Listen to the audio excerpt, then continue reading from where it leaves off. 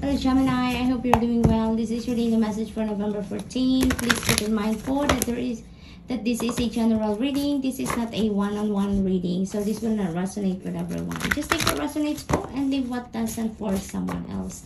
And uh, wag po ninyong ipilit mag-fit sa inyo ang reading kung hindi po tugma sa inyong circumstances. Dahil ibig sabihin po yan, hindi po para sa inyong specific message na yan. Thank you. And also, maraming salamat po sa pag-subscribe sa aking channel. Thank you for your support. And kung bago naman po kayo dito, hello and welcome. Please subscribe, like, share, and hit the notification bell po para updated kayo sa mga readings. And uh, Gemini, naway lagi po kayong safe at healthy lamang. Yun po ang aking laging dasal para sa inyong lahat. And uh, yung men- mensahe po ninyo ngayon is the Ace of Water. Wow, napakaganda Gemini. This is a very, very beautiful energy. This is the Divine Universe handing you blessings, no? Ah, yung cup mo dito, if uh, some of you, you know, running empty na ang iyong cup, ito na yung panahon, no? Ito na yung energy na, na sinasabi nito na blessings are are going to be outpouring no? Para sa iyo. So ito na yung panahon na yung divine universe is going to refill your cup. Your needs will be met dito.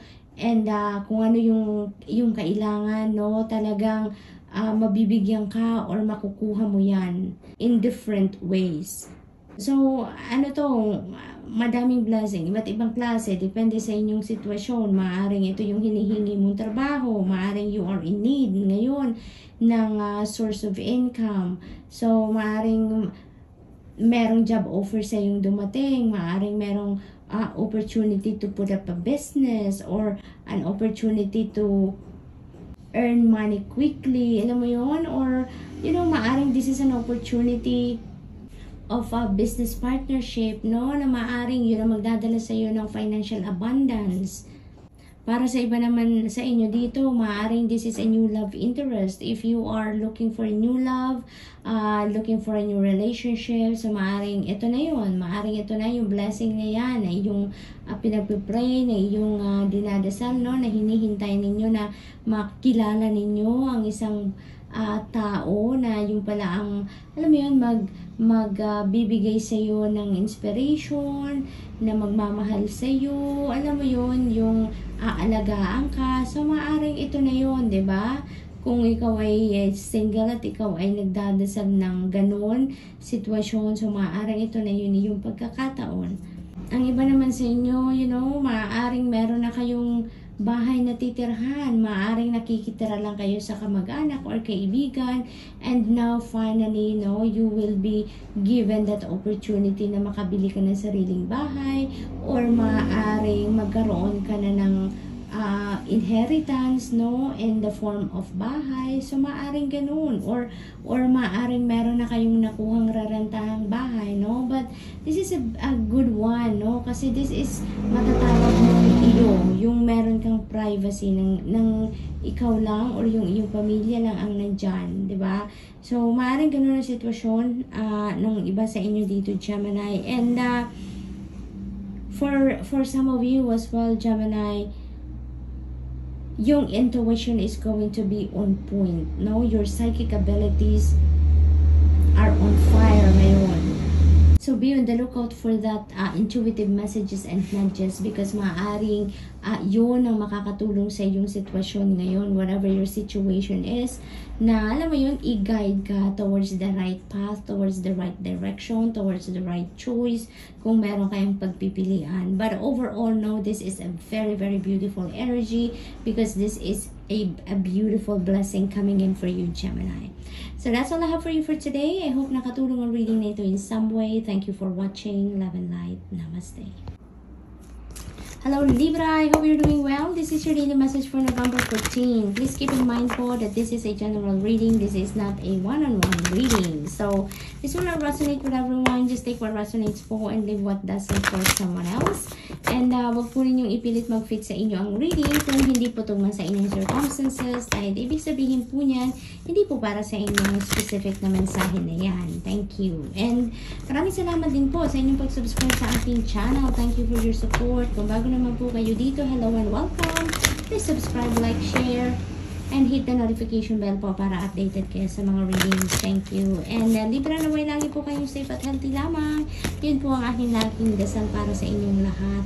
And uh, Libra, yung message mo for today is the Queen of Fire. So, Libra, parang uh, meron ka ditong goal, no? Meron kang tina-target dito na goal. Talagang uh, desidido, desidido ka naman na makamit mo yon Desidido ka na ma-accomplish mo yon which is very, very beautiful kasi uh, gustong gusto ko yan. On a personal note, gustong gusto ko yan na kung meron kang goal, sige lang, go for it. By hook or by crook, go for it. Ganon. Uh, kaya tuwan-tuwa ako kapag lumalabas si Queen of Fire. So, sinasabi ng energy na to for you, Libra, na uh, there is no playing small here. So, that's why napakagandang energy nito because finally, you know, uh, you are going to be on your feet. You're going to uh, spread your wings and you're going to fly high. Talagang, ano ka ngayon, you're going to come out into the open na, yeah, ako to. I am capable of doing this. I'm capable of doing that. And I'm, I'm capable of of being successful. Yung parang ganun, ganun ang vibe ni, ni Queen of Fire for me as a reader, no? And then, this is beautiful kasi, uh, pagtatagumpayan mo yan, I am pretty sure, Libra, na kung ano man yung endeavor mo na yan, no? Kung ganito ang, ang iyong uh, nasa puso, yung, yung energy ni Queen of Fire, talagang tagumpay ka. Hindi ka dyan mag-fail because yung being, you're being so decisive, and uh, talagang right, uh, iron the price ka. So talagang dire-diretso ka dyan. Once na nagsimula ka dyan sa endeavor na yan, you are not going to stop, no? Somewhere. But you're going to stop when you reach your goal. Doon lang ang end point mo. Doon ang finish line mo. Wala kang ibang pupuntahan but to get your target. So, So this is beautiful for you. So good luck, Libra. That is such a beautiful energy for you. And that's all I have for you for today. Hope nakatulong ang reading nito in some way. Thank you for watching. Love and light. Namaste. Hello Aquarius, I hope you're doing well. This is your daily message for November 14. And please keep in mind po that this is a general reading. This is not a one-on-one -on -one reading. So this will not resonate with everyone. Just take what resonates po and leave what doesn't for someone else. And wag po ninyong ipilit mag-fit sa inyo ang reading kung hindi po tugma sa inyong circumstances. Dahil ibig sabihin po niyan hindi po para sa inyong specific message na yon. Thank you. And maraming salamat din po sa pag-subscribe sa aking channel. Thank you for your support. Kung bago naman po kayo dito, hello and welcome. Please subscribe, like, share, and hit the notification bell po para updated po kayo sa mga readings. Thank you. And uh, naway lagi po kayong safe at healthy lamang. Yun po ang aking laging dasal para sa inyong lahat. So, yung mensahe ninyo for today, Aquarius is the nine of air. Ang iba sa inyo are having sleepless nights. Ang iba sa inyo nagigising in the middle of the night dahil um, sa kakaisip, no? Uh, ang iba sa inyo dito, Aquarius, maybe you are overthinking. Maybe you are uh, thinking too much, no? In anticipation to something, no? Iniisip nyo na yung mga maaring maganap or maaring dumating or maaring mangyari no in the near future. And uh, that is causing you stress no? Kasi uh, ang nakakapag-stress sa inyo dito yung kaiisip ninyo ng hindi pa naman nangyayari 'di ba?